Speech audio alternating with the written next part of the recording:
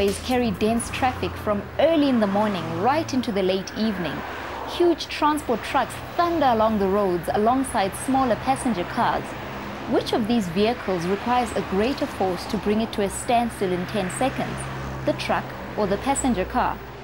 Which shot at the goal would be easier for the goalie to stop in one second? A slow moving ball or the ball that moves at a high velocity?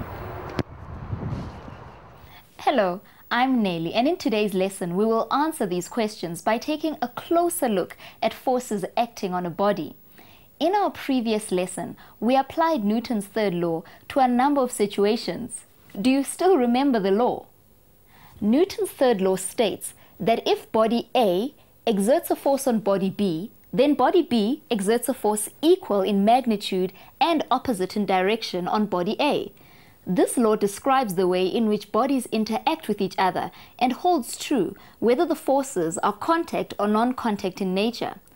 But when we want to examine and understand this overall effect of force on a body, we have to look at each of the interacting bodies separately. These are often many different forces applied to a body. We must add those forces together to work out the overall effect of all the forces acting on a particular object. For example, here is the free body diagram of the book on the table. The weight acts down with a force of 5 newtons.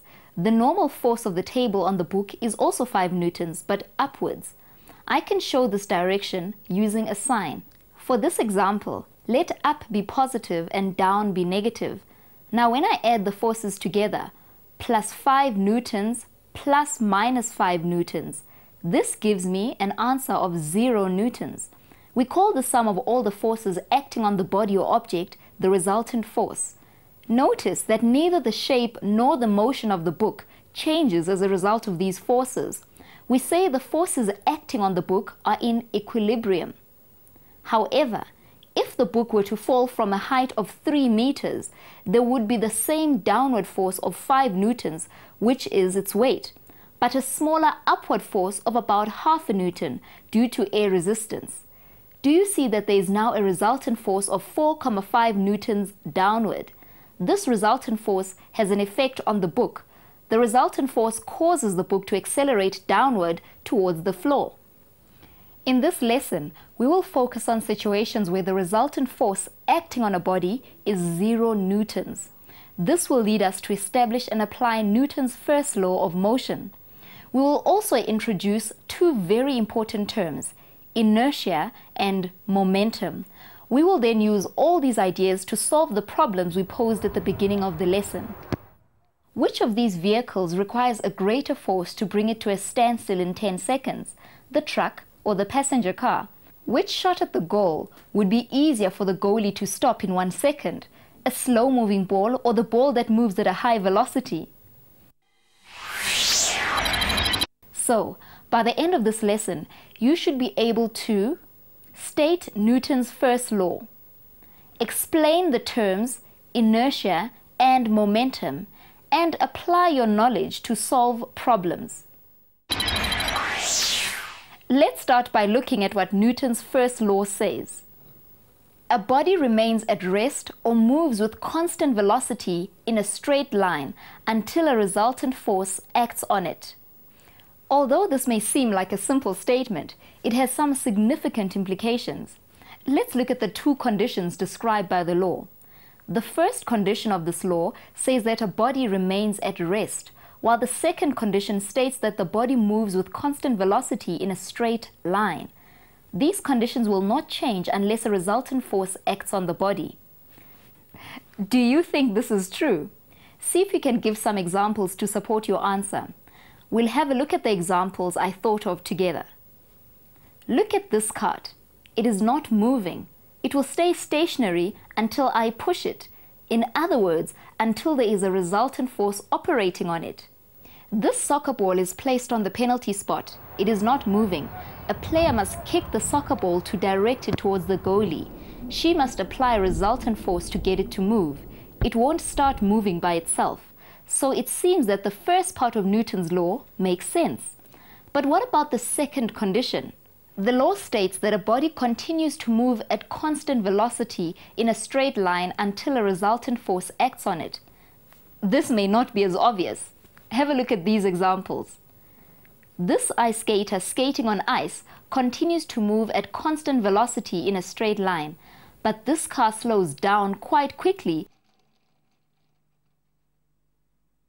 Can you predict in which one of these situations there is no resultant force acting on the body? Well, frictional force acts on the car, which means that there is resultant force acting on the car, that is why it slows down. But there is a very small force of friction on the ice skater, this is so small, we can ignore it. We say the force of friction here is negligible, so she carries on at almost constant velocity, moving in a straight line. As a matter of fact, if you could find a piece of ice that is long enough, the skater could continue in a straight line and at a constant velocity almost forever, provided of course that there is no other resultant force that interferes with her motion along the way. So, According to Newton's first law, when we observe a body moving with constant velocity in a straight line, we can conclude that there is no resultant force acting on it. Just to make sure you understand this, let's think about it in another way. Can you remember the effects force can have on a body? Forces can bend or stretch or squash a body. Forces can cause a body to change direction. Forces can cause a body to speed up and forces can cause a body to slow down. Now look at this special dynamics trolley that is traveling at a constant velocity in a straight line. Is it changing direction? Is it speeding up? Is it slowing down? I hope you answered no to each of those questions. But notice there are forces acting on the trolley, the weight and the normal force.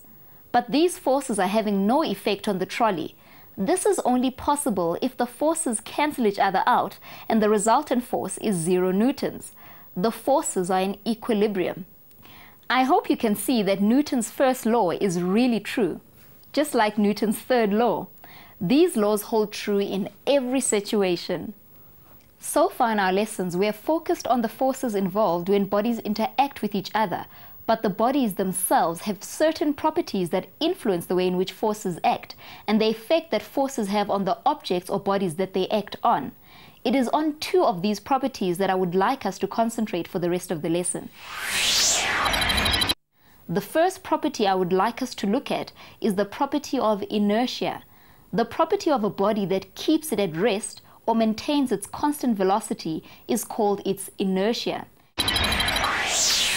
It is important that you understand that inertia is a property of the body. It is not a force. It is that property of a body which resists a change in the body's state of motion. When an object is at rest, it remains at rest because of its inertia. Although inertia is not a force, the inertia of the body resists a change in its state of motion.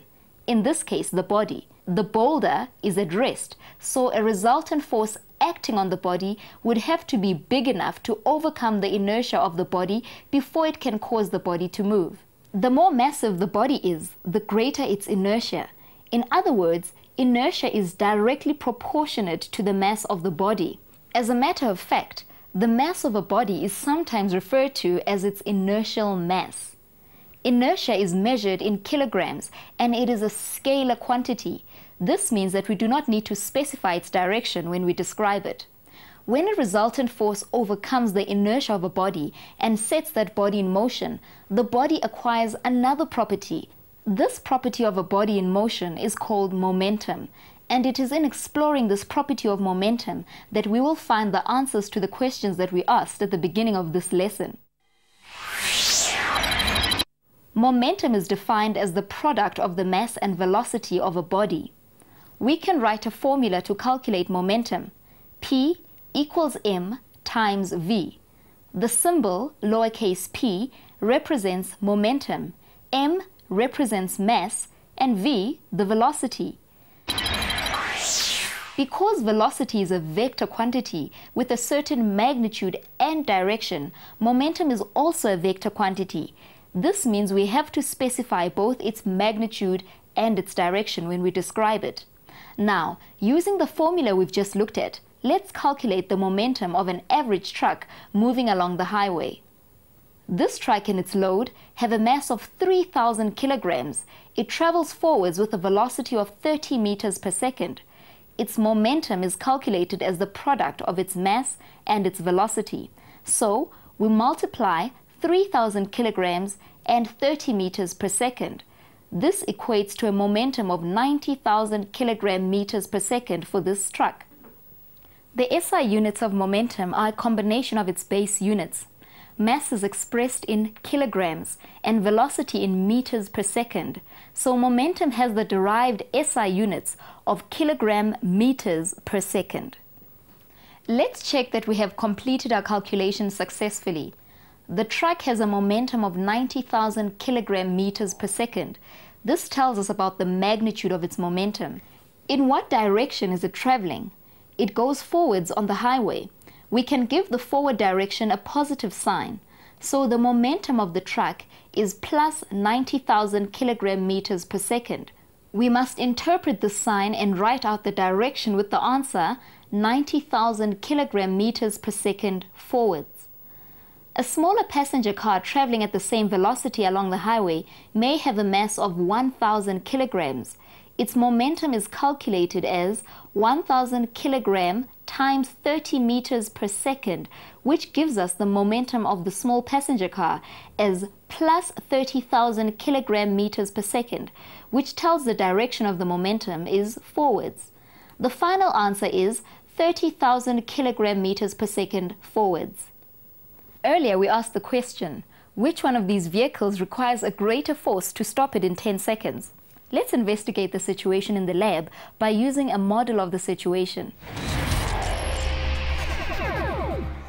Hi guys, this little vehicle running down the track has a mass of 250 grams. Now we can use this to represent the passenger car. Now this one here has extra mass on it, making its total mass equal to 750 grams. Now it represents the truck, and it means it has a mass three times greater than the smaller vehicle. Now what we're going to do now, we're going to let each vehicle crash into the stationary barrier, and when it does that, we're going to measure the force of impact using the force sensing device. Now both cars crash into the force sensor with the same velocity, and the force sensor measures the force of impact. Now this is the force required to stop a vehicle in a very short time.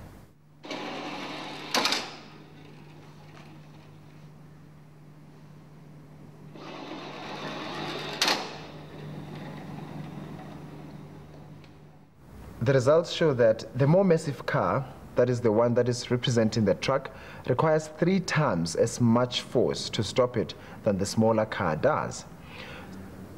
So it seems that the greater the mass of the vehicle, the greater the momentum, and the greater the force required to bring it to a stop.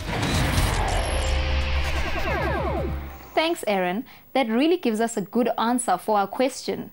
In our example, the truck with its greater mass will have a greater momentum than the passenger car, and so it requires a greater force to bring it to a standstill. Trucks are designed to cope with this fact. They have sophisticated braking systems which apply much greater force than the brakes of a small passenger car have to handle. Trucks make use of a power-assisted braking mechanism and hydraulic air brakes to bring these massive vehicles to a standstill. The other question which we wanted to investigate is, Will it take more force to stop the faster moving soccer ball or the slower one? What do you think? Do you think that there will be a similar relationship between velocity and momentum as there is between mass and momentum? Well, I would like you to think about this as your task for today. In this demonstration, we have a slow moving ball rolling towards a thin piece of cardboard. The ball comes to a stop when it hits the cardboard. Now we have a faster moving ball rolling towards the same piece of cardboard. It doesn't stop as it hits the board. If we repeat the experiment with a thicker piece of cardboard, the faster moving ball does stop. Analyze this experiment. Write a report on the conclusions you can make about the relationship between momentum and velocity from the results of the experiment. We will look at the answer to this task at the beginning of our next lesson. Be sure to join me then. Yeah.